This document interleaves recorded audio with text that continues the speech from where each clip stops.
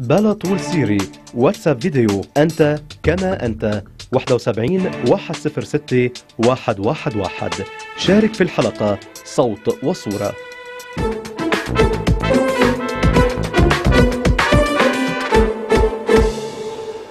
الفقرة الأولى لليوم هي تحية لرجل اختار أنه يعيش بصمت ويرحل بصمت. التحية لفؤاد عواد اللي رحل نهاية الأسبوع الماضي بعد صراع مع المرض عن عمر 73 سنة. جيل الثمانينات بيعرف فؤاد عواد من خلال شخصية فارس ابن ام فارس اللي قدمها على التلفزيون اللبناني سنة 1982 بمسلسل من كتابة مروان نجار. شخصية فارس ضربت بكل المقاييس. شغلت الكبار والصغار أثارت الجدل جعلت من فؤاد عواد نجم خلت أكلة الأبلمة أشهر أكلة على التلفزيون اللبناني بالثمانينات ومعه كمان خلت للحمار يصير في غنية.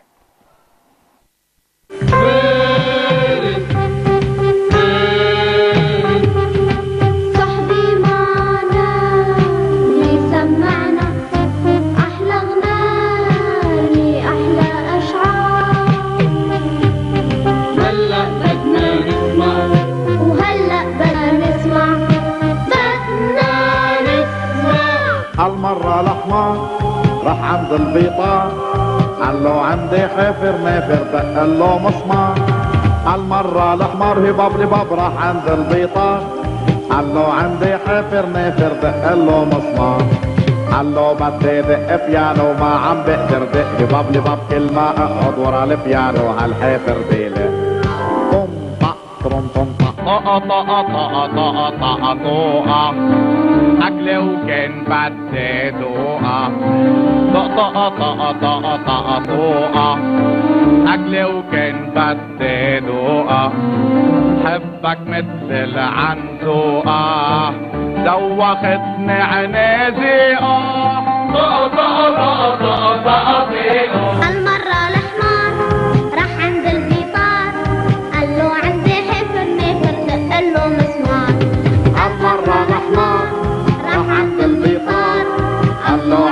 دق له مسمار فارس كان أجمل أسوأ شيء قدمه التلفزيون بلبنان ببداية الثمانينات. هالشخصية اللي لعبها فؤاد عواد على التلفزيون مرة وعلى المسرح مرتين كان ممكن يحولها إلى استثمار تجاري رابح ولكن هو ما كان مهتم بالشهرة والمال وإنما كان مهتم بالعود.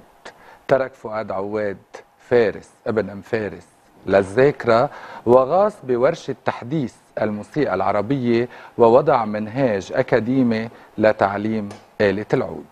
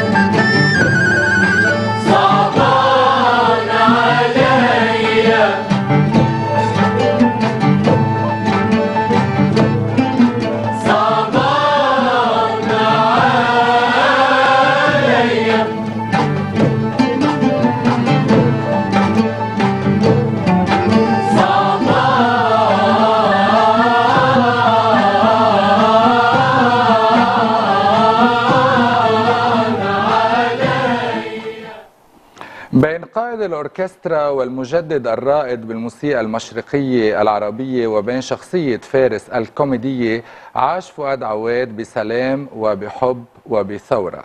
قال مرة أدافع عن الموسيقى العربية كما أدافع عن بيتي وعن وطني ورح آه، رح أمضي كل معركتي ولو آه، بقيت وحيد. بوقتها كانت هوية لبنان العربية محور حرب أهلية. لفؤاد عواد تحية. من منا جميعا على أنغام أغنية لحنها لماجد الرومي.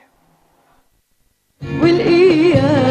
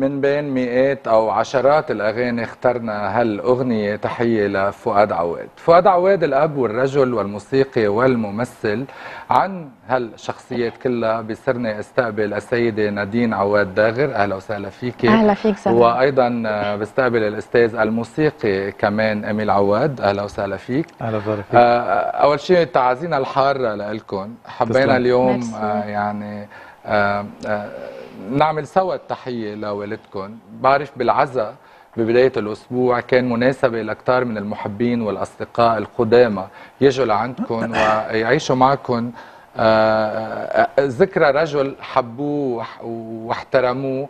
هو ممثل هزلي على التلفزيون وهو وحامل هم الموسيقى المشرقية العربية. نادين خليني بلش من عندك. شو بيبقى اليوم من ذكرى الوالد بقلبك؟ آه في كتير بالقلب.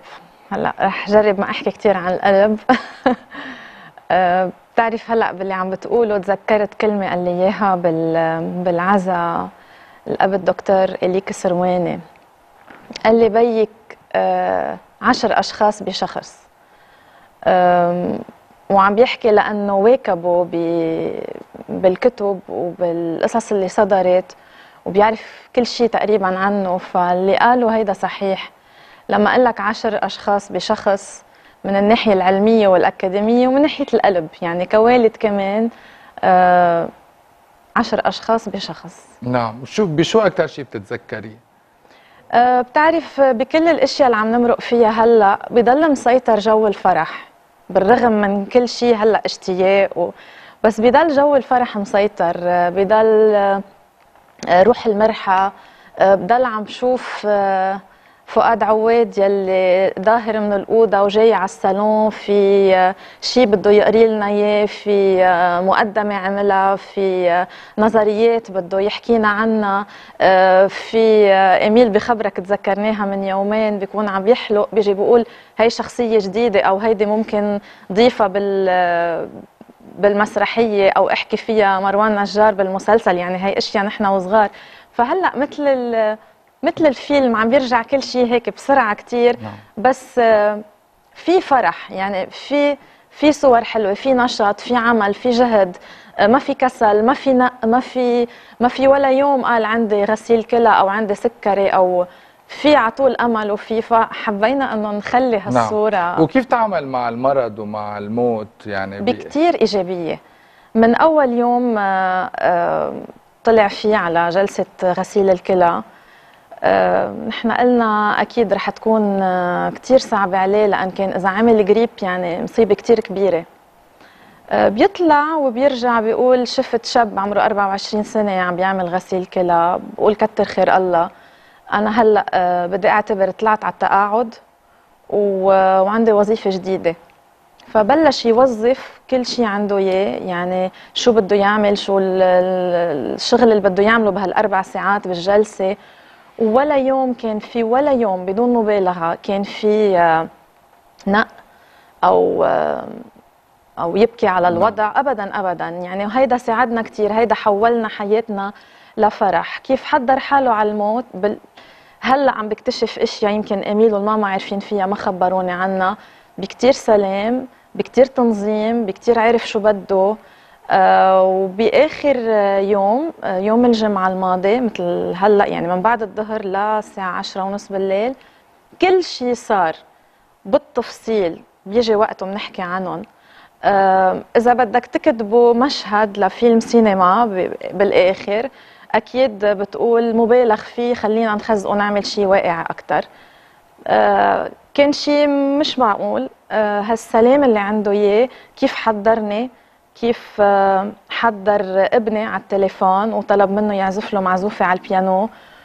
وكيف القصص كانت محضرة ومجهزة وشفته وقال لي لشو تعذبتي؟ قال لها للماما كيف بدي كفيكي على كل شيء عملتيه معي. يعني عم بقول لك بتقول مبالغ نعم. فيه بس كل هيدا الشيء خلق لنا نوع من سلام لأنه هو غادر بسلام وغادر بهدوء غادر ب آه، قال له شغلة لاميل هلأ اميل بيقول لك عنها من نعم. جمعتين. أنت كنت معه أكثر هال هالفترة يعني مرافقه كل الف... كل نعم. الفترة.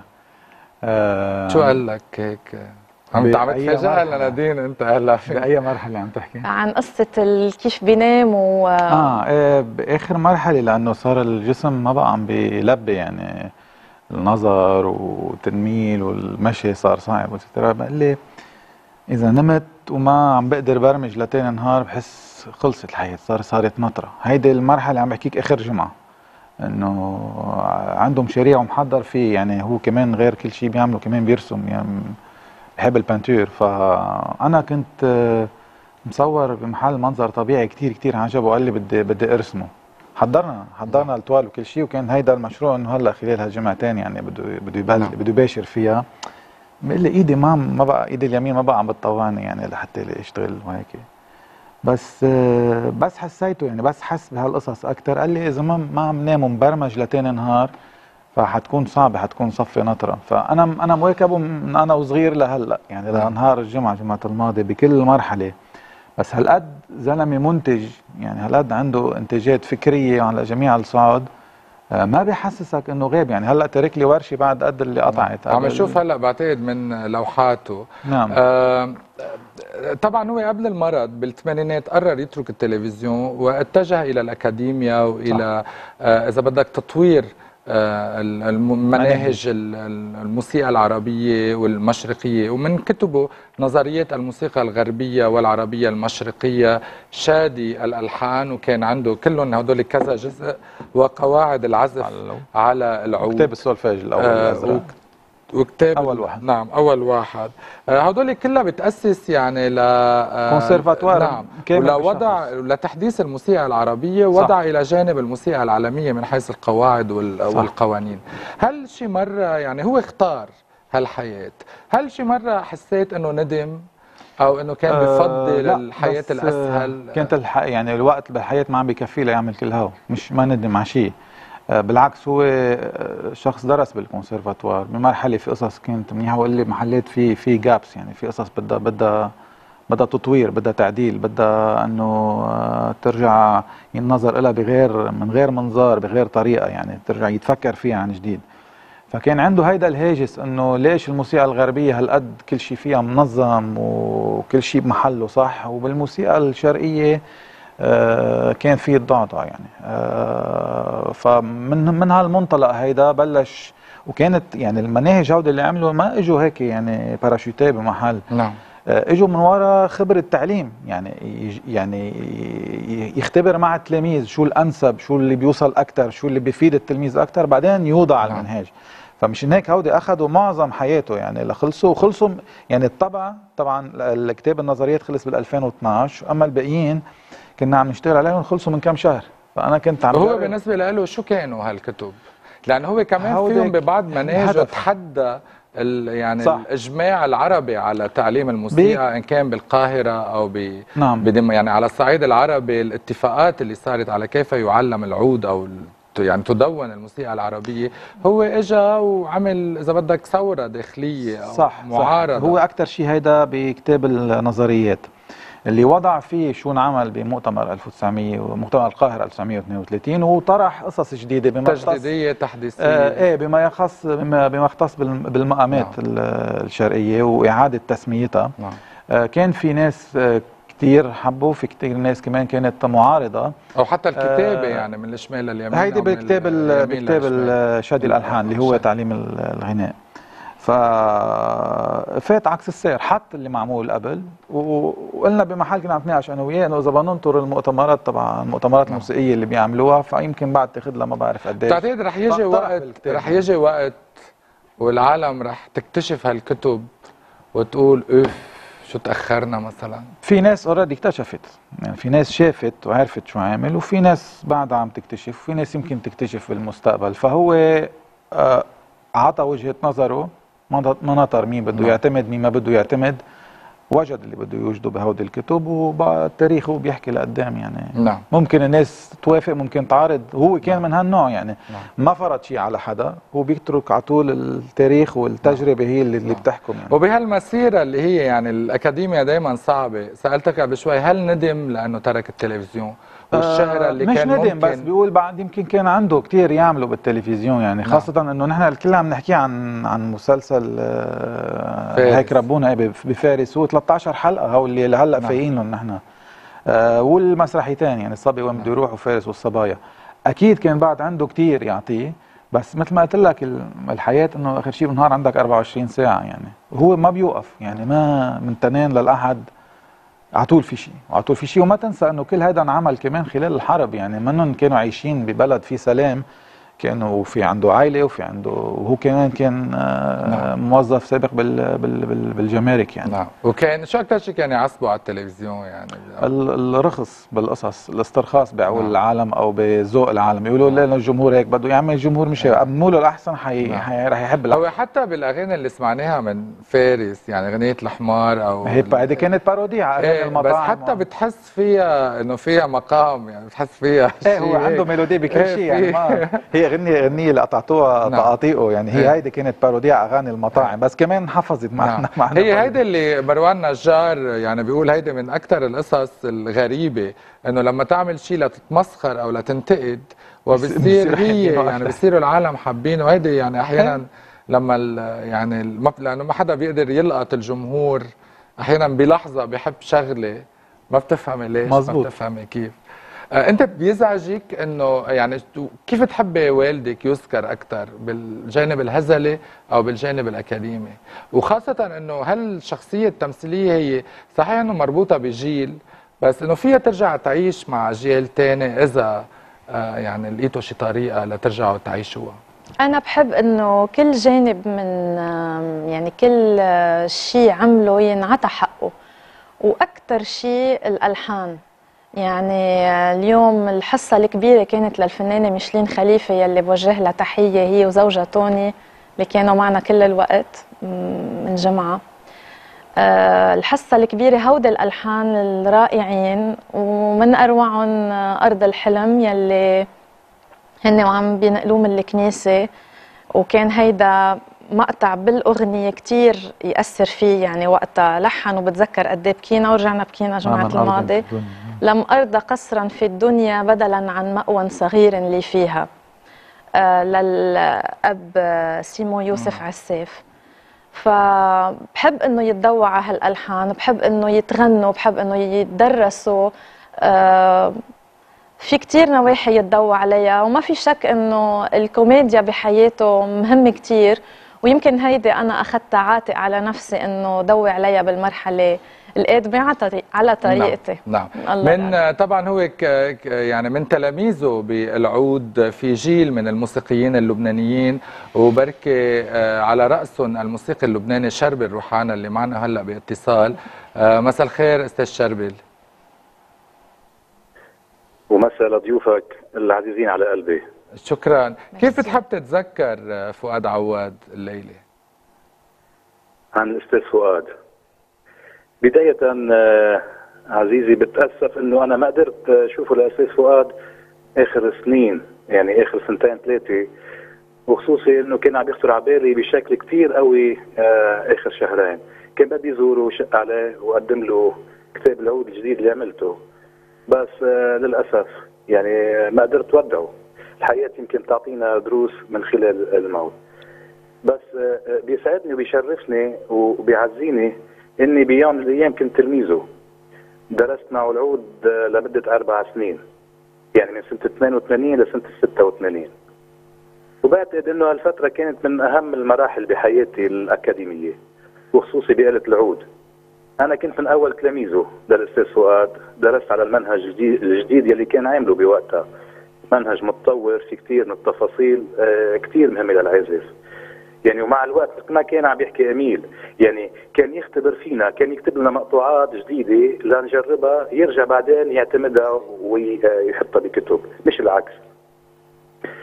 يعني بحب نعم. أقوله عن الأستاذ فؤاد إنه من لحظة ما فتت فيها على على صفه حسيت حالي قدام شخصية موسيقية آه، أكاديمية كبيرة. مع إني آه، يعني كنت ناطر شوف صراحة شخصية فارس ابن الفارس. واساسا كتار من أصحابي آه، قالوا لي شو بدك تستفيد مع فارس ابن أمه؟ هذه المسلسل يلي اشتهر نعم. كثير بهذيك الفترة. يعني آه، بس أستاذ فؤاد اتضح إنه قدر يجمع بشخصيته الجدية والمرح نعم. مشان هيك يعني كنا ننطر الناطرة تيجي صف العود. نعم. يعني كان بالنسبة لي آه، آه، نعم. متعة حقيقية. نعم.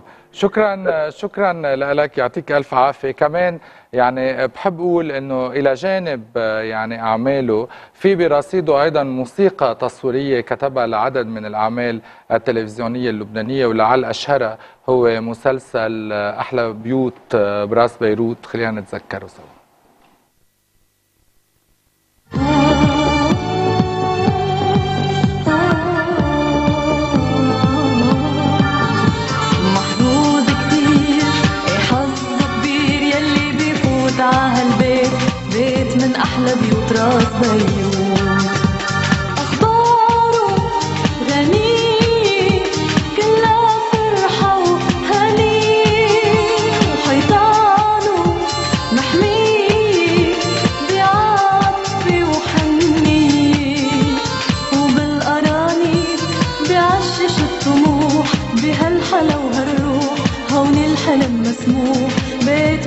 بيت من أحلى بيوت راس بيروت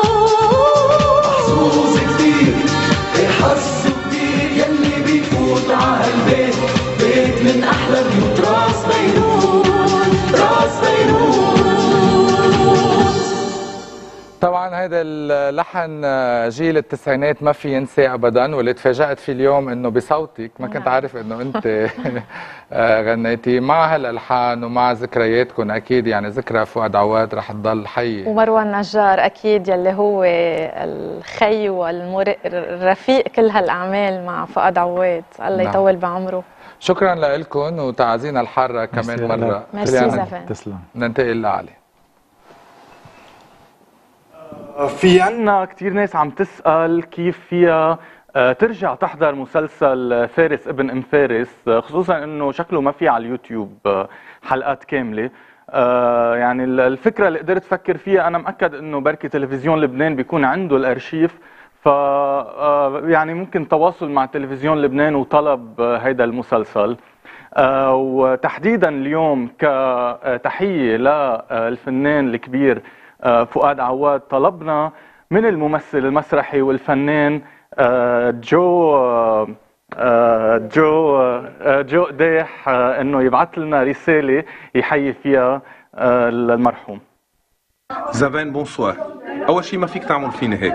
بدي آخذ minimum ساعة ونص لأحكي عن إيميل ونادين واربي وفؤاد. أنت أعطيني بالكاد دقيقة. فحجرب قد ما فيني أسرع. آه، هيدول أنظف عالم وألذ عالم أنا متعرف عليهم. اربي هي الماما المثالية يعني هي the mama آه، في على طول نوتات بيانو آه، طايرين حواليها.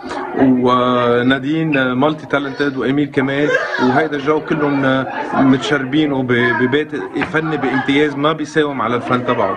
آه، أنا بتشكر إيميل لأنه عرفني عم بسرع بالحكي إنه عرفني على فؤاد من سنه ونص بس تعرفت عليه وأنا كان هيدا آه، حلم يعني star من شبابي عم بتعرف عليه وكنت خايف لما عم بلتقيه وكان كله وهرة وكان مختلف كليا عن يلي بعرفه أنا بال- بالتلفزيون. بس من بعدها صار يخبرني عن ال experience تبعيته بالمسرح وبالتلفزيون وبالموسيقى وانغرمت بهالشخصية مع الزقزق العصافير يلي كان كل يوم يختلي بحاله يدخن سيجار ويسمعها هي وعم بتغيب الشمس. بس هيك عالم ما بتغيب عنهم الشمس ابدا. ميرسي زبان على هالدقيقه اللي اعطيتني إياها. مين أطلق لقب الموسيقار على الفنان ملحم بركات ولقب الأسطورة على الفنانة صباح؟ بنعرف بعد الفاصل. بعد الفاصل تحية إلى صانع ألقاب النجوم جورج إبراهيم الخوري للتواصل مع زفان الخط الساخن 71 106 111